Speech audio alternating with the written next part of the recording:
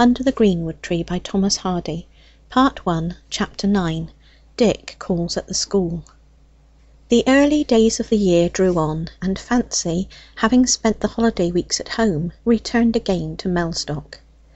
Every spare minute of the week following her return was used by Dick in accidentally passing the schoolhouse in his journeys about the neighbourhood; but not once did she make herself visible.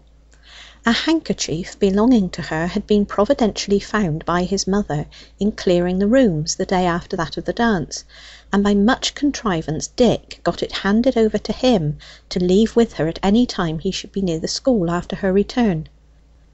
But he delayed taking the extreme measure of calling with it, lest, had she really no sentiment or interest in him, it might be regarded as a slightly absurd errand, the reason guessed, and the sense of the ludicrous, which was rather keen in her, do his dignity considerable injury in her eyes, and what she thought of him, even apart from the question of her loving, was all the world to him now. But the hour came when the patience of love at twenty one could endure no longer. One Saturday he approached the school with a mild air of indifference, and had the satisfaction of seeing the object of his quest at the further end of her garden, trying by the aid of a spade and gloves to root a bramble that had intruded itself there. He disguised his feelings from some suspicious looking cottage windows opposite by endeavouring to appear like a man in a great hurry of business, who wished to leave the handkerchief and have done with such trifling errands. This endeavour signally failed, for on approaching the gate he found it locked to keep the children who were playing cross stander in the front from running into her private grounds. She did not see him, and he could only think of one thing to be done, which was to shout her name. "Miss Day!" The words were uttered with a jerk and a look meant to imply to the cottagers opposite that he was now simply one who liked shouting as a pleasant way of passing his time, without any reference to persons in gardens. The name died away, and the unconscious Miss Day continued digging and pulling as before. He screwed himself up to enduring the cottage windows yet more stoically, and shouted again. Fancy took no notice whatever. He shouted the third time with desperate vehemence, turning suddenly about and retiring a little distance, as if it were by no means for his own pleasure that he had come. This time she heard him, came down the garden, and entered the school at the back. Footsteps echoed across the interior.